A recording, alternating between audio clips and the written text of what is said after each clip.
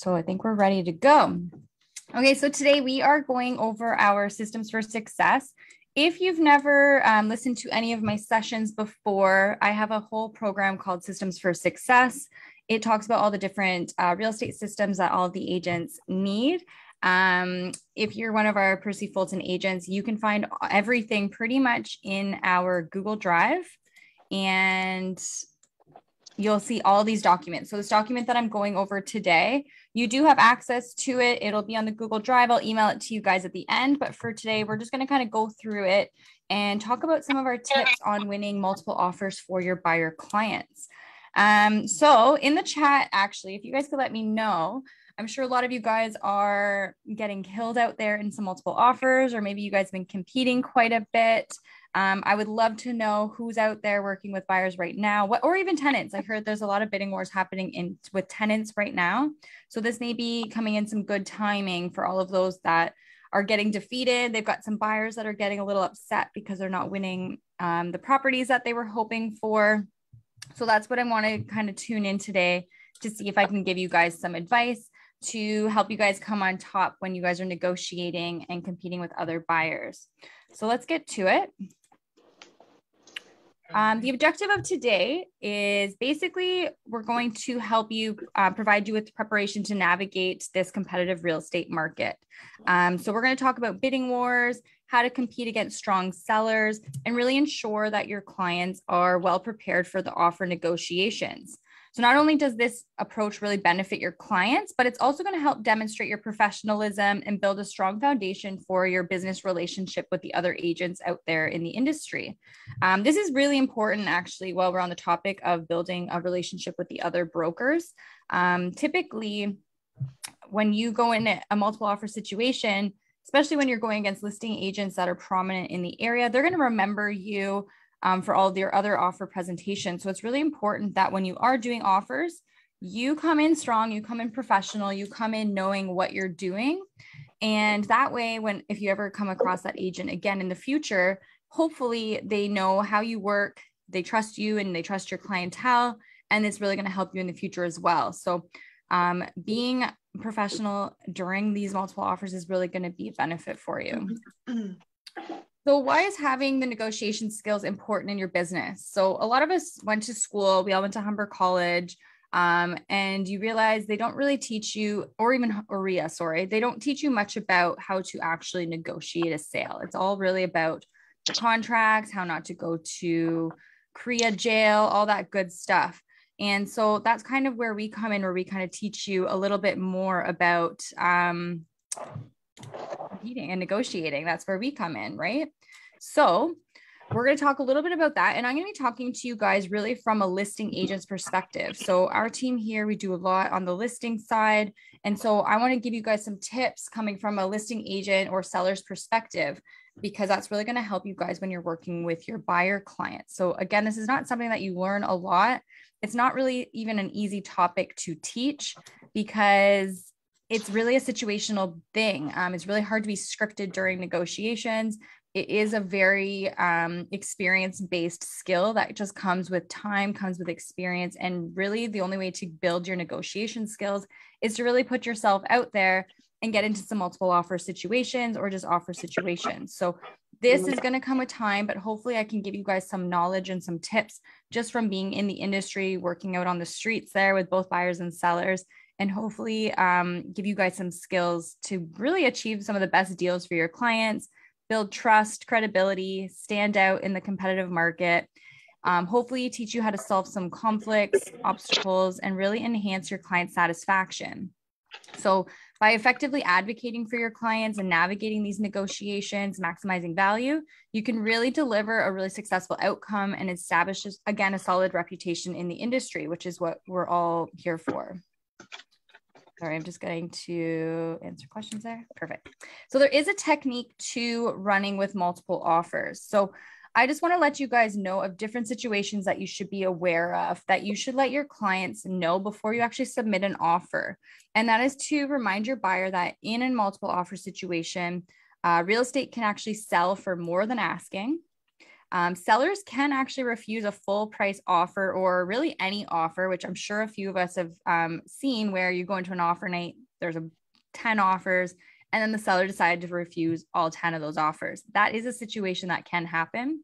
Um, as well as in a multiple offer situation, properties can often sell for more than asking price. So these are different situations that can happen, but these are things that you need to remind your buyer clients of as well um, to really keep your negotiation skills and market knowledge up to date. So let's dive into a couple of these tips. So what are multiple offers first of all i think it's pretty self-explanatory but multiple offers are also known i guess as a bidding war and these are going to occur in real estate when there's basically multiple buyers that are interested in a certain property and they all put in an offer at the same time to compete for that property. So typically, um, it creates a very competitive environment. Each buyer is going to submit their highest and best offer with the intention of hopefully outbidding the other offers to secure that property. So typically, when you end up in a multiple offer situation, this can result in an increased sales price. Um, again, as because um, buyers try to outbid um, th- that property to secure it for themselves. So usually this is a situation that is an advantage for the sellers um, because they can receive all those offers and surpass that initial asking price. But on the other side, this can be really challenging for the buyers and the agents working with the buyers because they need to really carefully strategize and make a competitive offer to really increase their chances of success. So, this is where you guys are going to come in.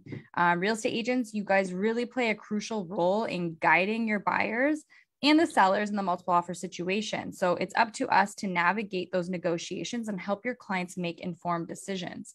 Um, I'm going to teach you guys um, a little bit in this negotiations that at the end of the day, it's going to be your clients that are going to be the, making those big decisions. Your main role is really just to educate them, strategize, and help guide them into making those decisions that will help it. But at the end of the day, it's going to be your clients that are going to be making the big decision. They're going to be making the offer, mm. and it's going to be up to them what they want to do based off the knowledge that you're giving them.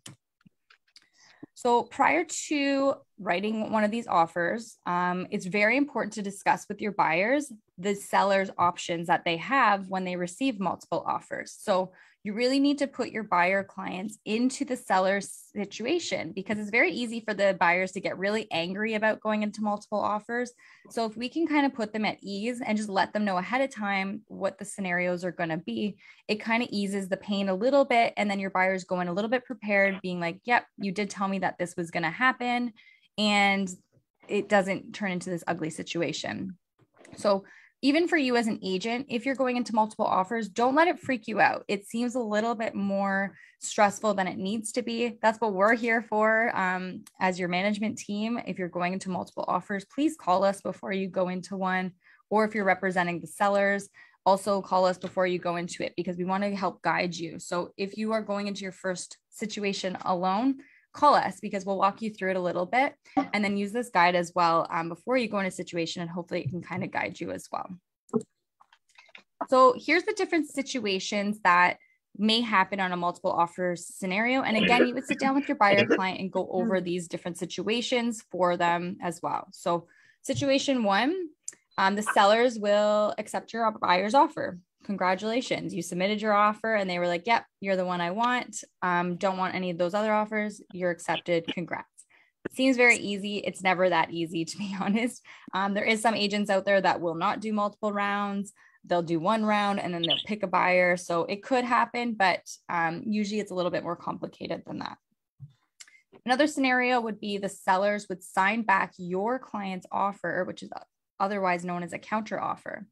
So in this situation, it's very rare that a seller is going to sign back. So as a buyer's agent, don't ever be like, well, just sign back my offer, sign back my offer at what you want. That's it's just not that easy from a seller's perspective to do that because say they've got five offers on the table, they sign back yours, they are all of a sudden now they are stuck to your offer. And if one of these other offers improves on their own, they're stuck with yours. So it's very unlikely when you will ever see a seller sign back a buyer's offer in a multiple offer situation. The best is to just listen to what the sellers are asking of you, what changes they want from you, and then they'll ask you to probably make those changes and put it back in their court.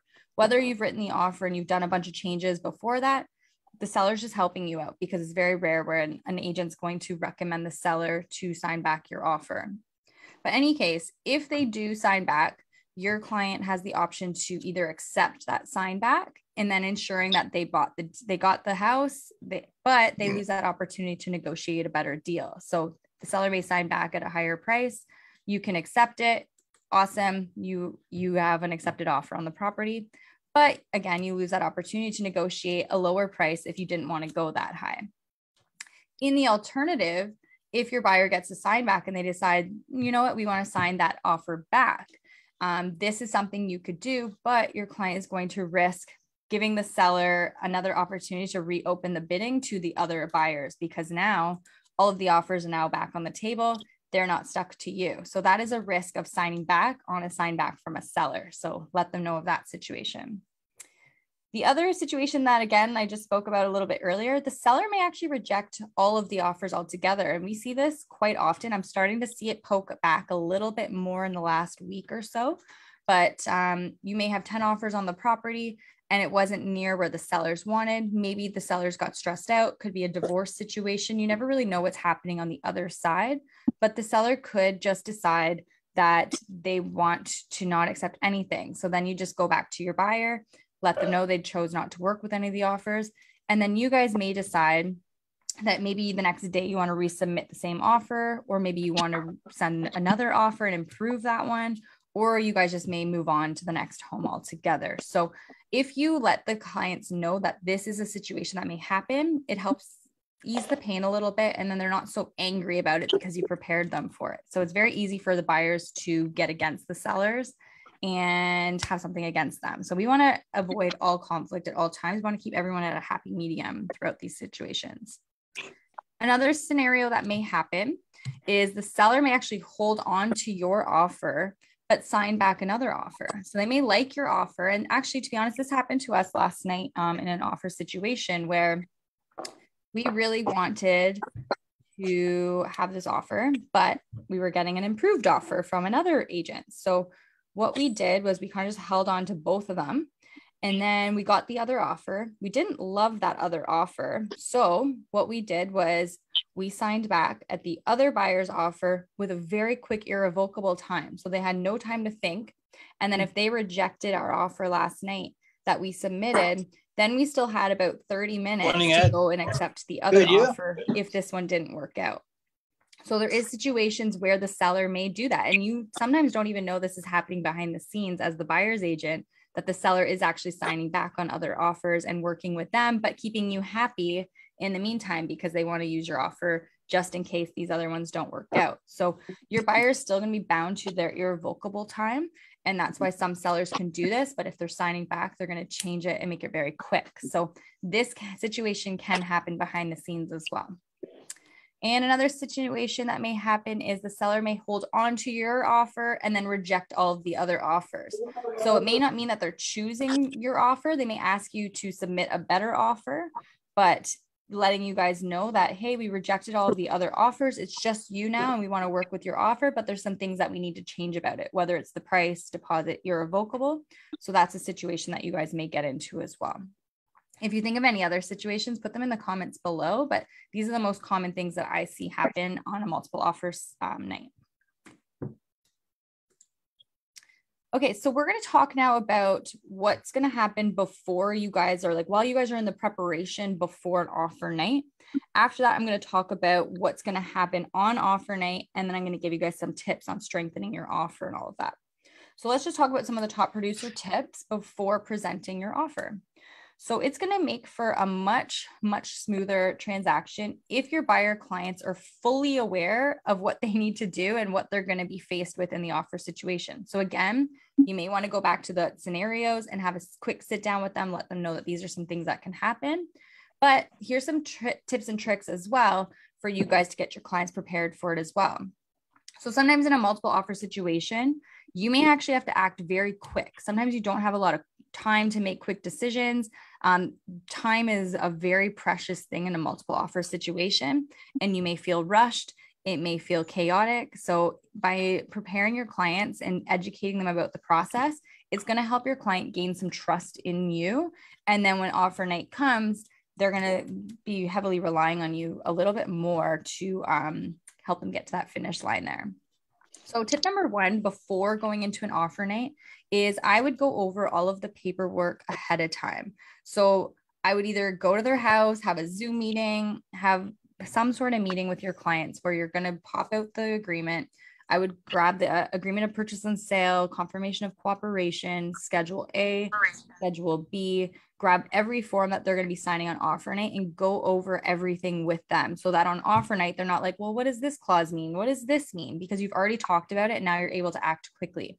So you're going to want to do things like go over all of the blanks that they're going to be filling out, go over every single clause, the ones that are standard in there, as well as the uh, schedule A that we give to you guys when we draft your offers for you. So go over every single clause with them, make sure all of their questions are answered so that you guys can act quickly. Um, you're also probably going to talk about pricing strategy. So you may talk about, um, they're going to want to know what price do you want to give? And this is probably one of the most common questions you're going to get as a buyer's agent. Your clients are going to be like, well, what should I offer? What should I offer? You should be very upfront with them and let them know. Um, I don't know what price to offer yet because I don't know what situation we're getting into. If there's 10 offers, that may have a certain price. But then if there's two offers, that may also change the price. So here's a range of maybe where the price should go. But we're not going to choose a price really until the day of multiple offer day when we really know what we're competing with and what we're working with. So you will talk about different pricing strategies, talk about what offer you may come in if there's this many offers, what price you'd come in if there was this many offers um, what offer you want to start with. Maybe you can talk about what your max is. So these are conversations that you're going to want to have with your client before the offer night. Um, also going over all of the conditions. So I would talk about what a finance condition looks like. What will the inspection look like?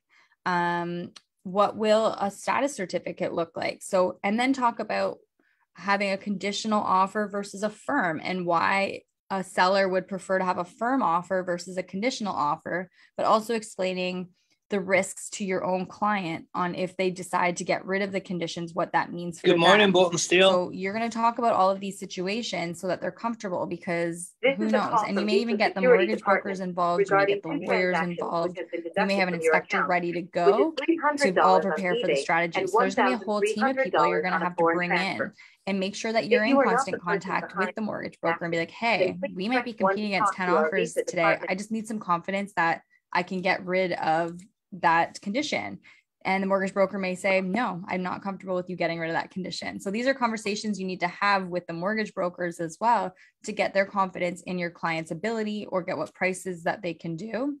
Um, if you're going in with a status certificate, you may decide, hey, we're going to get the status certificate reviewed before the offer night if they have it. So that might be part of the strategy as well. Maybe you've got a home inspector, like, hey, I'm going to be doing a home inspection. Can you get it done in two days instead of five? They want to keep the inspection, but instead of having five days, we're going to make it quick. Do you have availability? So, getting those appointments all set up as well and strategizing on what you're going to do with the conditions is going to really help you as well. Um, don't underestimate the irrevocable time strategy as well. Um, I know a lot of people do the 11:59 p.m. That may be a good start, but then once you start to get into the nitty gritty of the offer, Nate, and maybe you're improving your offer a little bit, your strategy may change. Be like, listen, we're going to increase our price. We're going to take away some conditions, but I'm only going to give you now 20 minutes to decide if you're going to accept it. So sometimes having the time pressure is also going to be part of your offer strategy. Um, we did this last night, for example, when we signed back at one of our, we had two offers that we were going between. They were both very similar. One of them I liked better than the other, but the other one offer was technically a little bit stronger. So what we did is you sign back and I'm like, hey, I'm signing back. I'm giving you 20 minutes. If you bail out, I'm going to accept the other offer. So using time to your advantage is really going to come in handy when you guys are dealing with um, with your mark or sorry, your offer strategies as well. So keep the timing in mind as well. Uh, deposit is something very important you need to talk about. And I guarantee every agent has probably made this mistake for sure when they're in their first multiple offer situation. And that's the deposit. So, of course, we're going to talk about um, deposit a little bit more, but telling them why a larger deposit is important and why the timing of the delivery is important as well. So, having a larger deposit, for example, um, we recommend having 5%. This is important to talk to your clients about because if they have a large enough deposit, it shows that they are not going to walk away from it. If it should be a $50,000 deposit and your clients are like, no, I only want to offer 10 $10,000 deposit, let them know, be like, okay, this is why I recommend that you can do whatever deposit you want, but this is why I recommend that you do 5%. Is because it's going to let the sellers know that you're serious. And then if anything goes wrong, you're not going to back out and you are in this deal if you're in like a $2 million deal and you've got a $10,000 deposit, it's very easy to walk away from that. You're like, you know what? I actually don't want this house anymore. So I'm just going to back away and lose my $10,000 deposit. So that's exactly why it's important to that the deposit's strong. I've lost offers honestly with the same exact price on a home, but I was $10,000 less on a deposit. So there may be situations where you're in a multiple offer situation, the buyers are all at a very similar price, but at the end of the day, that deposit is larger on this buyer. So we're going to pick that buyer. So you could lose very easily just because of a deposit price as well. The timing of the deposit is also very important. Um, you do need this deposit within 24 hours. And this is the mistake I have definitely made where your clients put in the offer, they get it accepted, and then you send them the deposit instructions and they say oh i actually don't have this money available right now. It's in investments. It's in stocks. It's going to take me three to five business days to actually get that money out. Now all of a sudden you're not delivering the deposit and you guys can lose the transaction. Um, the amount of times i've seen this happen and i feel like every agent makes this mistake at least once and then they'll never make this mistake again. So when you're preparing for your offer, ask your clients straight up where's the deposit coming from? Is it liquid? Like, is it a checkings account? Can you whip it out like tomorrow? Is it available? Or is it in stocks? Because you need to call the bank and get access to that now. And then you may need to get creative on your deposit in your offer. And you're going to say, okay, on acceptance, we're going to give you $10,000. And then in a couple business days, we'll give you the rest. So you may actually have to add that into your offer as well. So it's very important to find out where that money is coming from and how much they have. Uh, and finally, closing date. This can also be important because, again, from the seller's perspective, they may have actually purchased a property. So you may actually see that a seller may put an actual closing date that is important to them. And that's likely because they either bought a place or they have a reason why they picked that date. So if you can get your clients to come to that seller's date, it will help your offer as well um, because it's, sometimes it's not just about the price it's about how much deposit it's going in and when can these people move in and does it line up with where the sellers need it as well. So again these are all very important things. If you need help with the APS um, you're not very good at um, describing it. There is a forms explained on Stratus um, where it has like the all of the agreements and then it's got um, forms explained in red. So a red describing each clause and so if you're not very good at explaining it, you can read the red clauses with your clients, send this to them as well, and then it will help you go over those clauses. And if you have no idea what I'm talking about, um, put it in the comments and I will, I'll send it to you. All right. So another one, again, be prepared. I can't tell you enough how important it is to be prepared for this presentation um, because honestly, your pre- offer, it's all about the presentation of the offer. So when you're presenting the offer, you need to have a backup on your market stats. You need to know every single comparable in the area. Don't ask the other agent what their expectations are. I will tell you right now, it's probably one of the top three annoying questions that a listing agent gets from a buyer's agent. And it's probably the most common question we get as well. And that's always like, well, what are your seller's expectations? Well, I know my seller's expectations, but like, I don't want to tell you that. And the reason I don't want to tell you that is because they want as many offers as possible, whether your offer is low or whether your offer is high. I want all of the offers. So the seller does, seller's agent does not want to give you their expectations because they don't want to freak your clients out and then prevent you from coming in on offer night. So your job as the buyer's agent is to know the market stats. You should know the comparables. You should know HPI. You should know assessed values. Um, other things to do is talk to the neighbors around the listing. If you see them outside, ask them why they like living there. They may actually know why the seller is moving. This is again another thing that the seller's agent is not going to disclose most of the time is why they're moving. Um, could be a divorce situation. It could be um, they're having a baby. They don't want to tell you their motivation because it could be used against them. So at the end of the day, it's very important for the seller's agent to protect certain facts from you as a buyer's agent that's going to protect their seller. So if you ever call a listing agent and you do ask them what the expectation is, oh, so sorry. I didn't realize everyone was on, not on mute, guys. One second. Who's not on mute? I'm going to mute all of you. so sorry. Um, okay, so again, if you yes, don't ask the agent what your what their expectations are. That is up to you to figure out. You can maybe ask them if there's a certain comparable that they're looking at, but otherwise, I would um, I would kind of avoid that question or reword it in a different way. So don't say what are your clients' expectations. Say, hey, is this a good comparable that you guys are looking at? Um anything like that. Don't ask them what price they're looking at anything like that. It's just like a it's a bad question to ask. So we're going to move on from that. But when you are calling the other agent think of different ways to talk to the agent. Say what closing date are you looking for? Um is there a deposit that you're looking for? Stuff like that. Some anything about the price because they're not going to give you the price and it's just a really awkward question for the listing agent to answer Okay, so now we're going to talk about um, the blind bidding. So, of course, before the offer presentations, you want to warn your buyers that the standard practice in offer situations is for the listing brokerage and the seller to conduct a blind bidding process.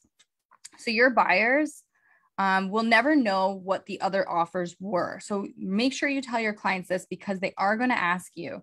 They're going to say, Well, what were the other offers? So, you need to ahead of time just let them know, I don't know. We're never going to know the other offers I don't know. Sometimes the listing agent may tell us where we're sitting, and that's about it. So even if your buyer is the successful winner, you're never going to know how much more or less they offer than the next bidders. So you're only going to know how many offers there are, but you're never going to know the details of those other offers. And you can't ask the listing agent either for those because they're not allowed to disclose the contents of other offers. This may change maybe in a couple years. We'll see um, or the next year if they start to allow open bids we'll see if uh, sellers actually opt for that. But again just remind your clients you're you have no idea what the other offers are so it's really hard to tell them where they sit. You're going to do your best to find out but um, remind them that you don't know.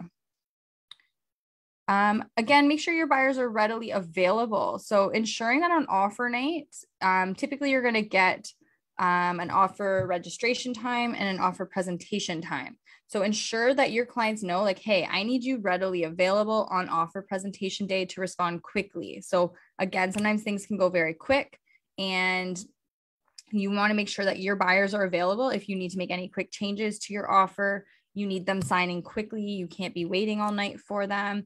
If a seller does decide to sign back their offer, then you also need to be readily available. So make sure your clients aren't, if they're on vacation or they're away, make sure they're available at least from like a certain hour time frame. But anything that you can do to make sure that they are constantly there you can either be with them in person.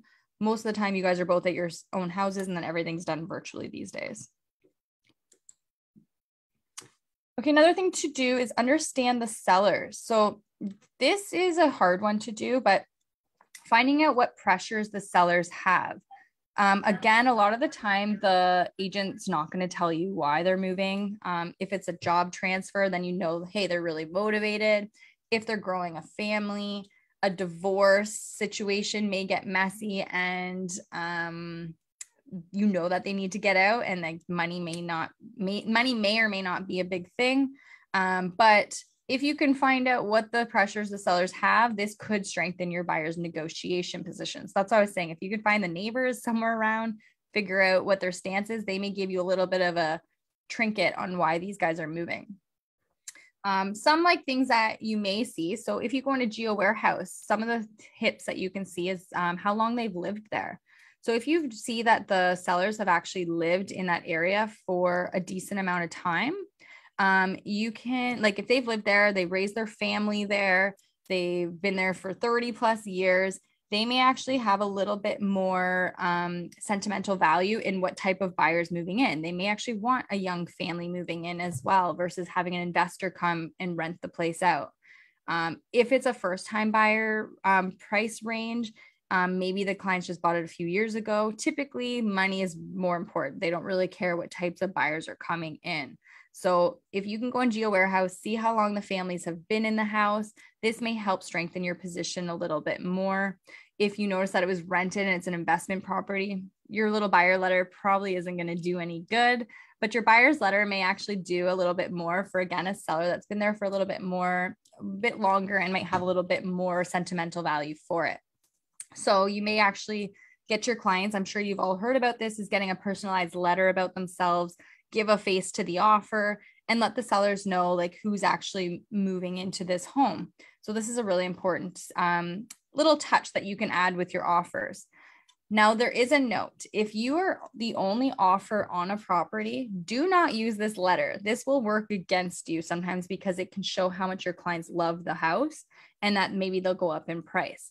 So these letters only really work in multiple offer situations or if you're having a hard time getting the seller coming to the seller's price because maybe you don't have the budget for it or you just can't sometimes that letter will like say hey listen i can't come up to your price but here's who my clients are it's a young family first time home buyers yada yada yada so it really does help personalize the offer when you're there so don't hesitate to ask your clients to write a letter for you. If you need to whip it out, you can. Sometimes it's good to either present the people before the offer if you're in a multiple offer situation, or sometimes it's good to do the offer and then send the letter a little bit after. So I would kind of see what the situation is before you go ahead with the letter.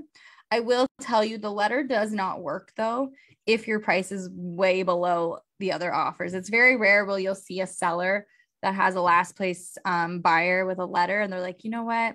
I love that buyer. I'm going to take that buyer because it's a lovely family. Not going to happen.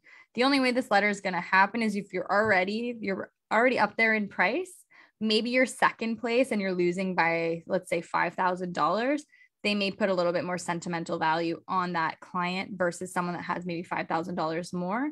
So again, this letter is not just going to take you from last place and all of a sudden you're going to win the bidding war. You still have to come in strong um, with no conditions, price, all that stuff for that letter to actually work. Okay, so let's now that we're on the topic of um, strong offers, let's talk about what makes a strong offer. So we talked about certain things to prepare you for the offer night.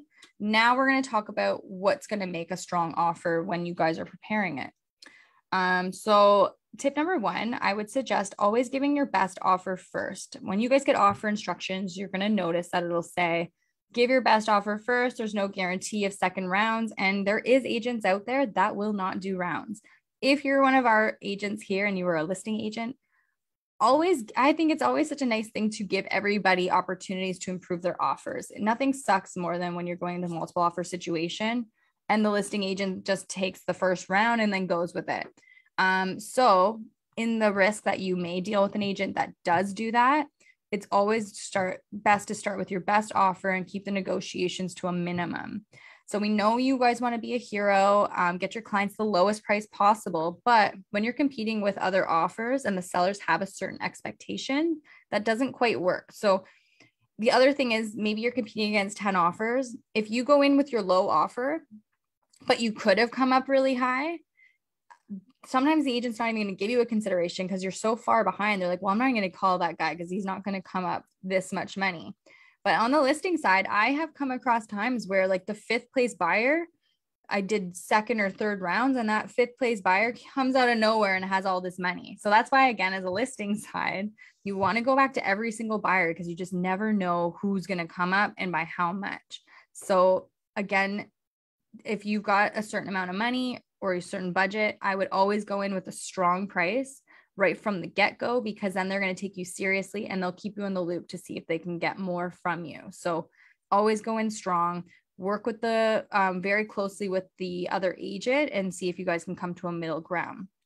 So again, if you guys do offer a lower price, you may lose actually risking that home altogether. Um, I did want to talk a little bit about logical price versus emotional price as well when you guys are when we're talking about prices um, your clients are going to ask you, hey, like what price should I go in at? And again, it's a really hard question to answer, right? As a real estate agent. So I always talk about there's a logical price, which is the price it should sell for based on like what's sold out there, um, basically the market value of the house. And then there's an emotional price. So how many of you guys have actually gone through an offer night? You lost, you woke up the next morning and you saw what that house sold for, and you're like, who was crazy enough to offer that price? Like there's always a crazy buyer, right? So I call that the emotional price. And typically, buyers that are offering this emotional price are the ones that are winning. It's a price that makes zero sense, but it's usually a buyer that has been beaten out already in like two, three, four multiple offer situations. They're over it. They just want to get it done, or they really loved the house. They'll pay whatever they want for it. They don't care if it's above what it's worth, they're going to pay it. So, usually, there's an emotional price that comes in the multiple offer situation, and it's a price that makes zero sense.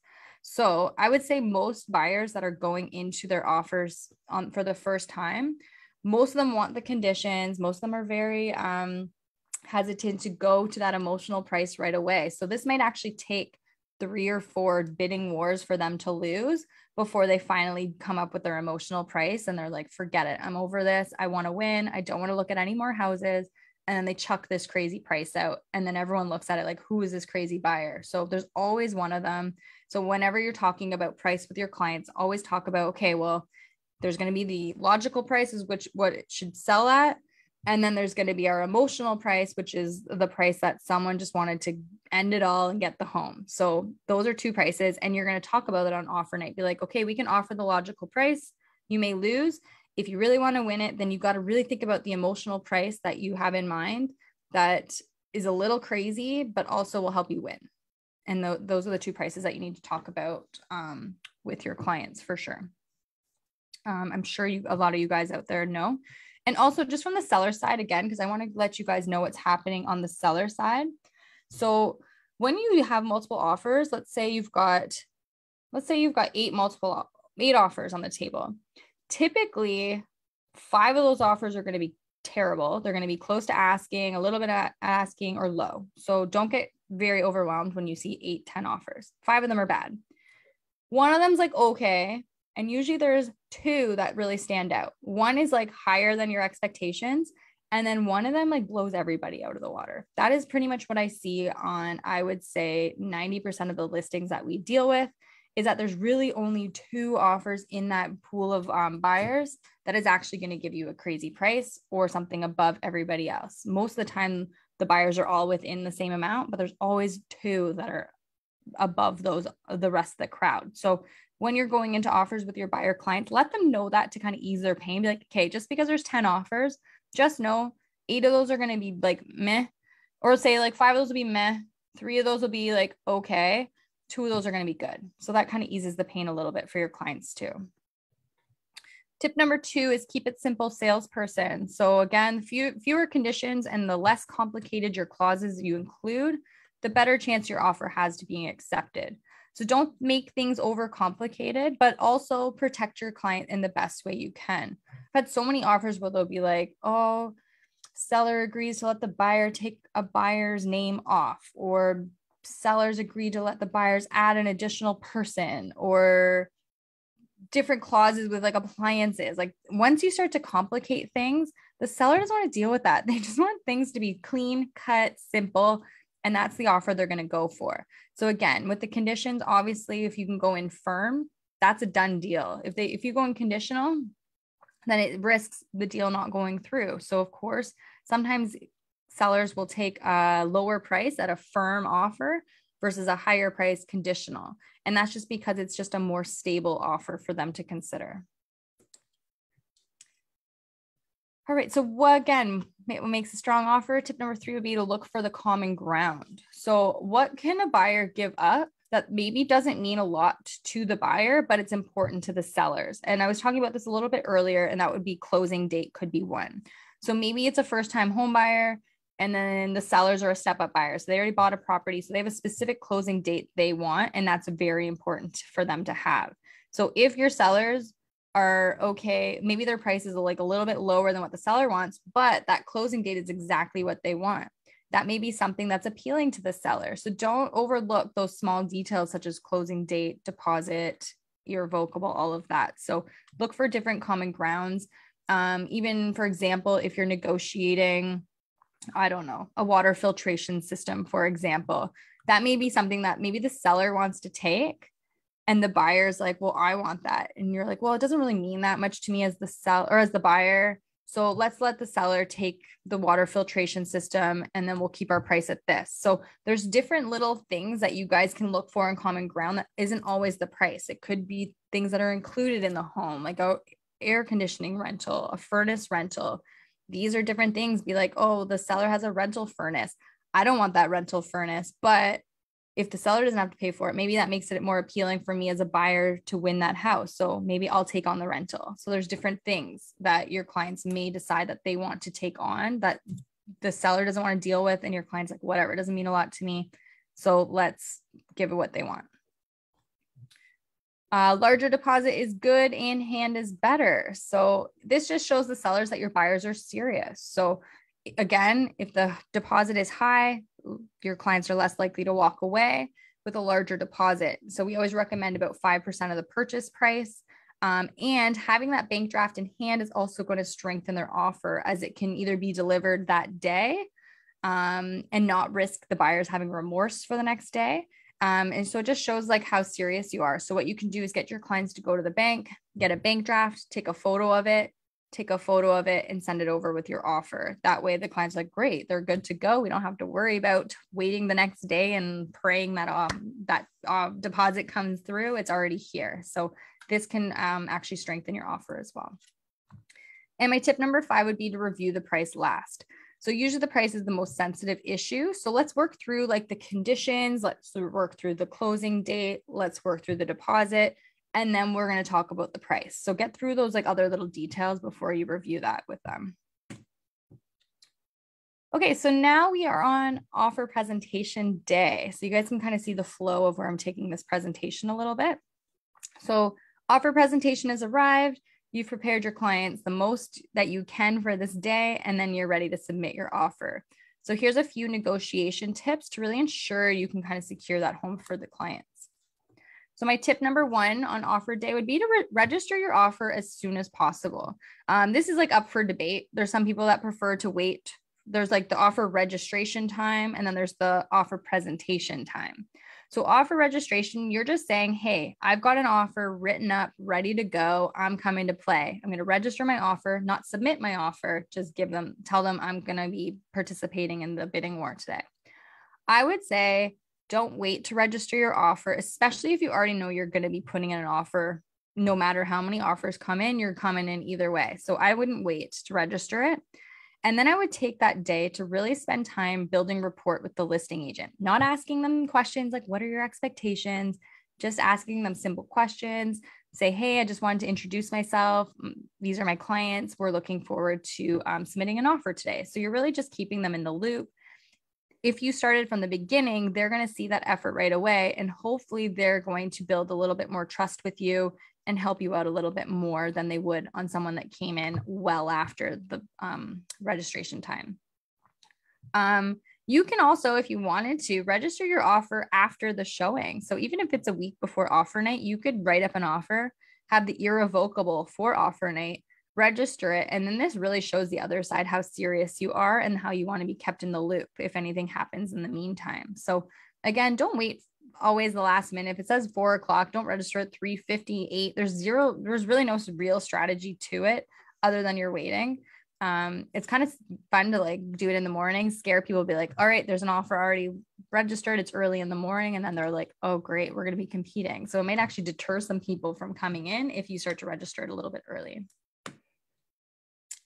Um, double check to make sure that your buyer is in multiple offers before you present the offer. So, like I just said, you're going to be pres- or you're going to be registering an offer at a certain time, and then you're going to be submitting an offer at a certain time.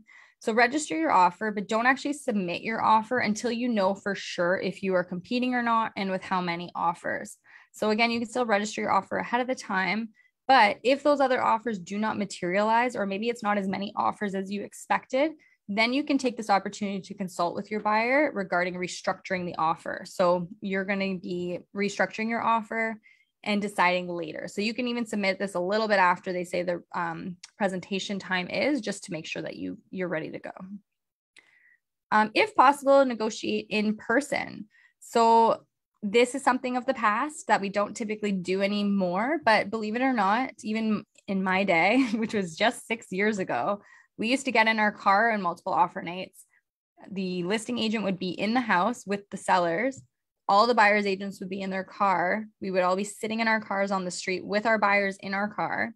You would have your offer in your hand and you would walk into the house and you would present your offer directly to the sellers you would leave the offer and then you'd go back to the car and hang out with your with your buyers and this is how offer nights were done and we we do them at the office as well sometimes the clients would come to the office the agents would all line up present their offers to the agent and then they'd go sit in their car in the parking lot this was it's the best way to influence people is if you can get face to face again i'm not seeing it a lot but if you have the opportunity to present your offer in person i would because you can get a lot more done quicker if you're face to face versus phoning and emailing and all of that. So there's more power to be had when you can negotiate in person. Um, so that's one of the things. So again, if there's that opportunity, go for it. Um, be confident. This is a huge one, guys. So even if this is your first time, be excited, be positive, be confident, especially when you're talking to your clients, but more importantly, when you're presenting your offer um, to the seller's side. So don't go in nervous, don't go quiet, but also don't be too aggressive because this can really turn the sellers off and they're going to lose confidence in you and in turn your buyers. So you really do need to go in professional. There's nothing worse than seeing an agent get aggressive and angry with you. And I'm going to talk a lot about that as well. But um, just try to be fun, be easy to work with, be excited, be happy and you're representing your clients. So you want to make sure that your clients feel like they're being represented by the best agent that's going to be having some tough conversations behind closed doors that they don't get to see. So you want to make sure that you're putting on your best professional behavior when you're doing this. Okay.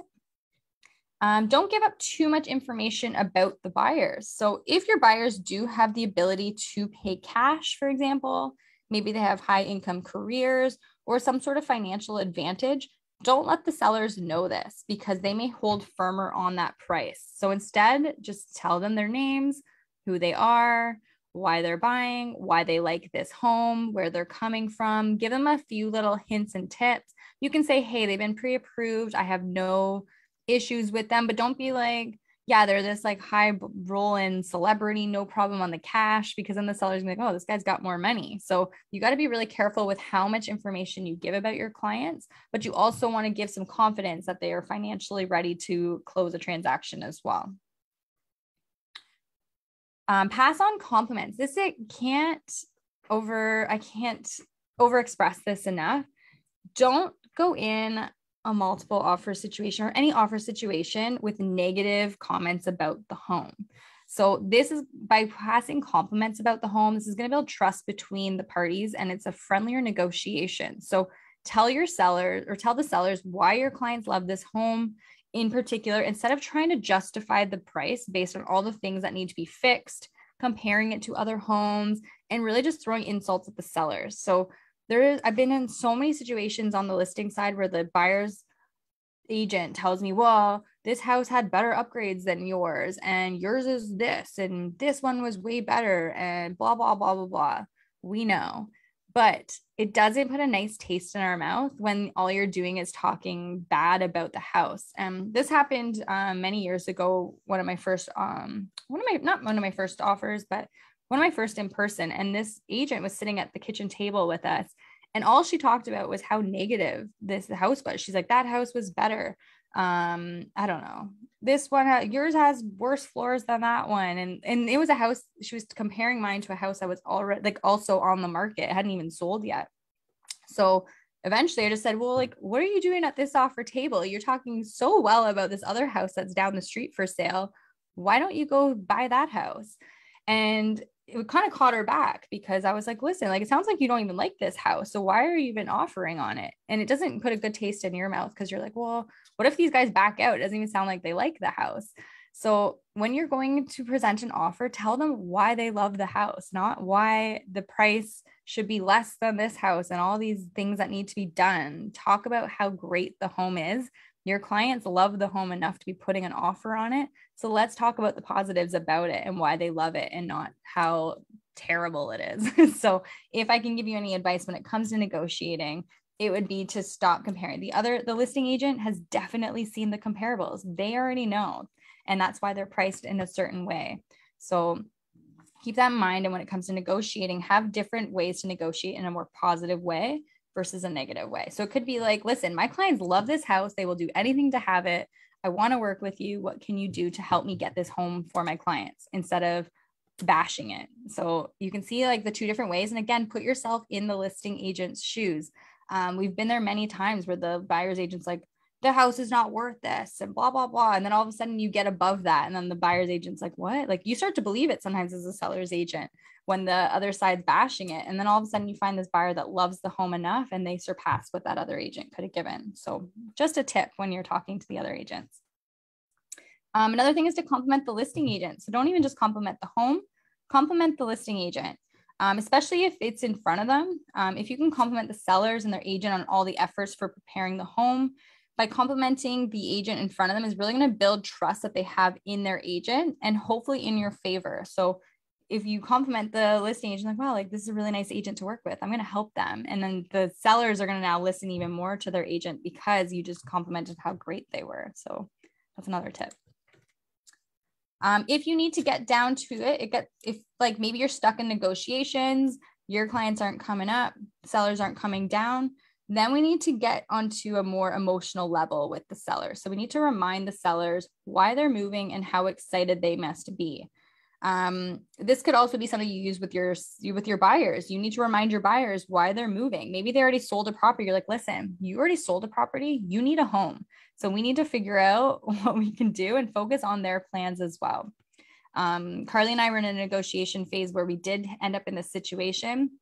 Again, it was in a kitchen um, where we were just sitting in the kitchen. We were all stuck on a price, but they loved our clients we loved them. We wanted the house. And eventually we had to keep saying, listen, you're moving, you're retiring, you already bought a property. Let's focus on getting you to that next step into your next home instead of figuring out like why we're fighting over $10,000 right now. Let's really focus on, hey, we can sell this tonight. Everyone can go home happy and then you get to move into your next home. So sometimes you have to re put everybody back into reality and remind them why we're here today and why we're moving. Um, leave your ego at the door. This is something that I cannot stress enough, especially if you are a brand new agent. Um, so don't lose sight of the end result. At the end of the day, guys, our goal is to help our buyers purchase a home and again, not beat up the seller and their agent. People want to work with friendly people. So if you try to show any aggression or anger when things are not going your way, I promise you it's going to work against you.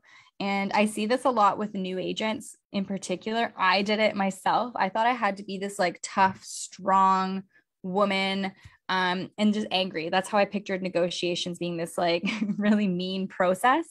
I the best agents out there are some of the most friendly professional agents you will ever work with.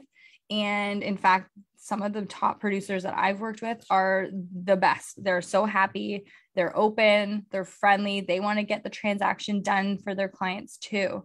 And then I've seen other agents that get mad at you, they get they puff their chest up, they've got this big ego and it goes it actually works against you like the sellers don't want to work with agents that are like that because then they think that's how the rest of the the close because you still got to get through closing it's going to be two months of working with you they don't want to work with people like that. And then they assume that your clients are also like that. So definitely leave your ego at the door. If I could give you any piece of advice, you will sell way more homes by being a nicer agent to work with, a professional agent to work with, and someone that just has confidence. So sometimes when you show that aggression and that anger, it actually shows a lack of confidence um, or a lack of negotiation skills because that's just what you do. So try to hold back from um, bringing that side out and uh, just be nice. Perfect. So if you guys have questions, this would be your time to put it into the chat. I've come up with a couple questions that I really do get on a regular basis when it comes to um, negotiation. So if you have questions, put it in the chat and I will get to them. Um, but one of the questions I get a lot is how do I deal with client anxieties around the negotiation process? and this could also be your own personal anxieties maybe you're maybe you're very anxious about going into multiple offers and so this may calm you down as well so some of my key things for how to deal with your client anxieties um, about going into multiple offers. Um, even if there's multiple offers i would still encourage your clients to go through because it just gives you an indicator of when they go to sell their house in the future this is a high demand property versus one that's not getting offers. Maybe not a high demand property for when you sell in the future. So it's really important to remind them just because there's a lot of offers i would still go ahead and continue on um, to compete because it's a home that they probably like but anyways keep your expectations low um, don't make any promises that you can't fulfill. So when you guys are writing offers, don't say, yeah, yeah, yeah, I think that this, they're going to accept this offer. They're for sure going to accept this offer. How can they not? Because then you're going to get your clients' hopes up and we don't want to do that. So try to keep their expectations low throughout the whole process. Um, prepare them for any counter offers or how the process works. So again, talking about all those different situations, preparing them for offer date, going over the offer. These are all really good things that are going to help um, reduce the anxiety for your clients. So just by over um, over educating, I guess.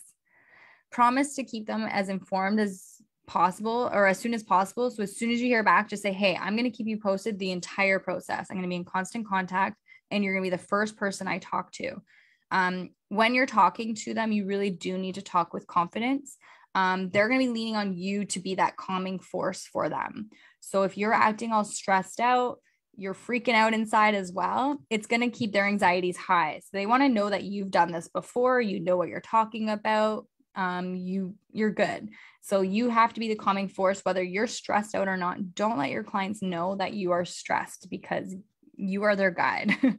um, knowing your local market stats, comparables, everything about the home. This is really going to assure that you're confident, but it's also going to help your clients know that they're negotiating at a good price and at good terms as well. And then we talked a little bit about the logical price versus emotional price. Um, okay, why is it important to present your offers in person? So we talked a little bit about that. So I'm gonna skip that one. Let's talk a little bit, about, a little bit about bully offers. So I know we get this question a lot, and some buyers want to. They're like, "Listen, I want to give a bully offer." So when your clients ask you this, let them know what a bully offer is and what they need to do in order to get it accepted. But typically, a bully offer is also known as a preemptive offer, and it's an offer that's submitted and expires before the date and time of the offer presentation. So it's someone that wants to get in there, they don't want to compete, and you're really being a bully. So, in order for the sellers to actually consider reviewing your bully offer and kiboshing the entire process that they had planned, your offer needs to be something that they don't want to risk losing. So, typically, it's a price um, for example, that they're not expecting on offer night. It's something way above what they thought it was going to be. It can't be like, it can't be the obvious number. Like if the house next door sold for 850 and then you're going in and around that price, they're probably going to get that offer on offer night. So your price has to be well over what they expected. It definitely cannot be under asking because that's they're just not going to consider that and it cannot be asking. So if you're going to be giving them under asking, or if you're going to give them close to asking, then I would just say wait for offer night because the sellers aren't going to risk losing out on the momentum just for an offer that's below asking or at asking. So again, price needs to be crazy number that they have no idea. And then they're like, yes, I want that number. We're probably not going to spend on offer night. Let's go. It also needs to have a strong deposit. You need to have at least 5% or more and it should be in hand. So if you want to be a real bully, you need to have that offered deposit ready to go. Be like, hey, I've got a strong price, money's in hand, I'll deliver it today. So that also makes it very strong. And do not submit a bully offer that is conditional. I have seen so many bully offers that are conditional on financing or conditional on home inspection. Doesn't matter. If you're going to put a conditional offer as a bully offer, you might as well take those days before the offer night, get the mortgage pre approval, get a home inspector in there, even if it's an hour home inspection. The reason why a seller will not accept or doesn't make sense for them to accept a conditional offer is because it, that deal still has the potential to fall through and then ruin their entire strategy.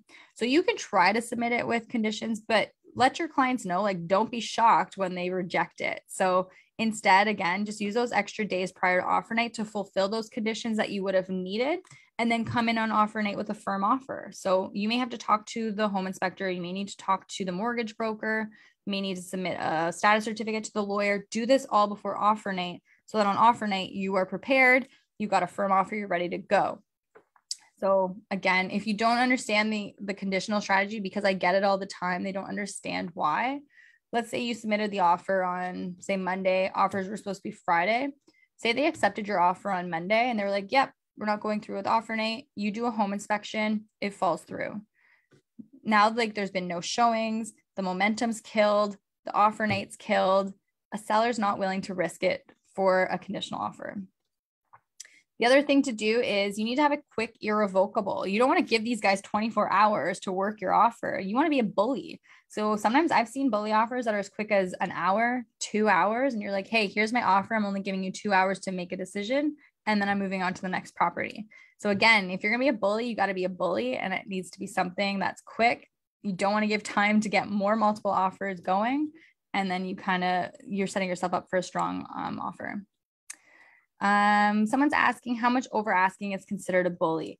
Honestly, it depends. There's no real number. Um, I would say it just has to be a crazy number above, like that's above like the comparables. If I can give you anything, like some people don't underlist their properties that much. So it may not go over. So there's no real number of what it needs to go above. But when you're looking at comparables, it needs to be at least at par with what has sold or above that. It can't be below what the comparables are. They're just going to wait for offer night anyways. All right, here's a tip just again from a listing agent side, but how do you know if your offer is winning? And the answer is you're not going to know if you're winning or really losing, but there is some um, signs that your offer is being considered. And that's if the listing agent is calling you. So if you have an, a listing agent that's calling you and they're letting you know things that you can improve on the offer, and it in particular, it doesn't include the price. So if you get maybe you've done your um, offers, you're on a couple rounds, the agent calls you and is like, hey, just going through your offer.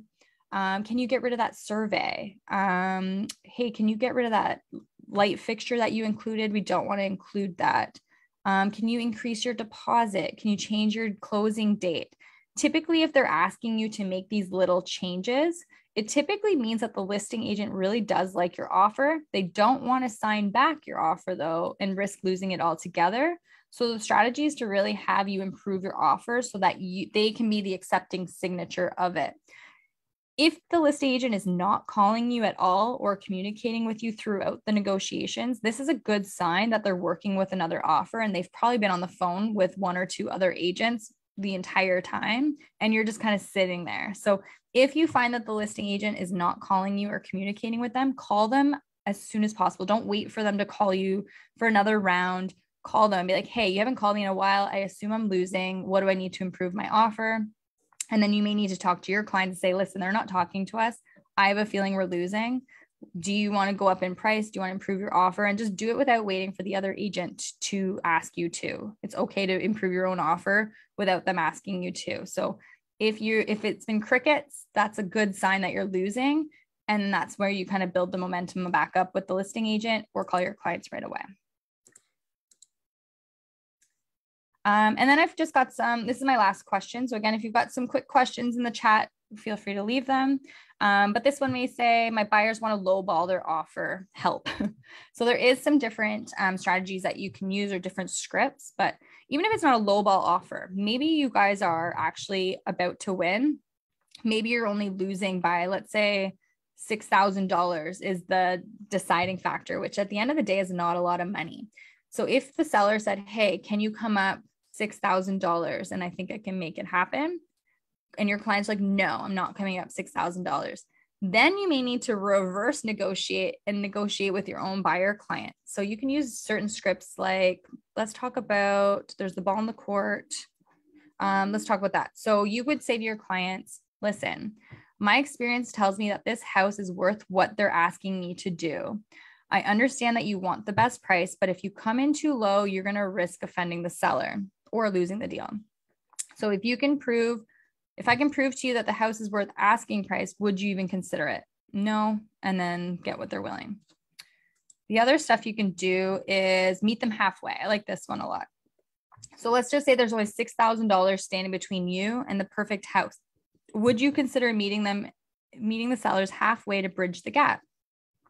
So if you don't want to offer 349, would you consider 346? If we do, I think the offer will be much more appealing to the seller and hopefully we can get you this home. So again, you can kind of like come up with different terms, like, hey, you don't want to come up 10K, but why don't we come up 7K or why don't we come up 5K? So you might have to negotiate when it comes to like those little numbers with your clients to get them over the edge. Um, the other things that we talked a little bit about are the trade offs. So if we're not willing to budge on the price, is there anything else that we can do to make the offer more attractive? So can we waive some conditions? Can we get rid of some chattels, some fixtures? Um, the, is the closing date proper? What can we out offer to that seller that will help push them to our offer? So these are different little scripts that you can use. Um, do we have a presentation we can use with our buyers about what to expect during multiple offers? Um, I do not. Um, I know we've got our buyer's guide, but I think it talks a lot about just generic. I would even, you guys have this um, option, but it's not a bad idea to have a presentation or just have like a little note section. So if you're getting on the phone with them, then it's not a bad idea to have a little presentation for them to prepare them for multiple offers. I think that's a great idea. I unfortunately don't have one. I just have this. Okay, I'm going to stop sharing. Any other questions from you guys? And on Facebook too. If you guys are on Facebook, let me know.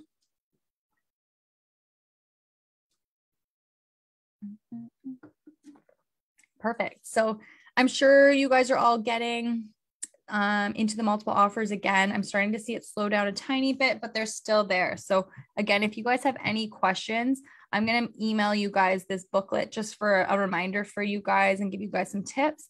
But if you're in a live situation with a client, please do not hesitate to call myself, Carly, Paige, Nelson, Claire, Ginny. All of us are available, especially if it's your first offer night. Um, don't hesitate to contact us if you guys need that extra help extra looking over your offers, even just being available. Um, just give us a heads up. Be like, hey, Katelyn, I'm going on an offer night tonight. Do you mind just being available? So if you guys are going on an offer night and you just want to make sure that one of the management team is available for you, don't hesitate just to shoot us an email and let us know you're going into multiple offers and that you may need um, some extra support or guidance um, during the night. So we're happy to do that as well. All right, perfect. I think I got most.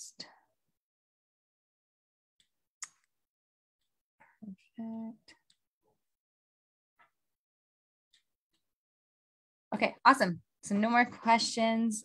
Um, I will email you guys the presentation today. It's not a presentation, but I'll email you guys the booklet. It's also on your Google Drive. And then again, if you have any questions, just let me know. And this will also be on YouTube. So if you guys want to rewatch this whole session, we'll be on YouTube. Um, and don't forget to like and subscribe if you are on YouTube. And we will catch up with you guys soon.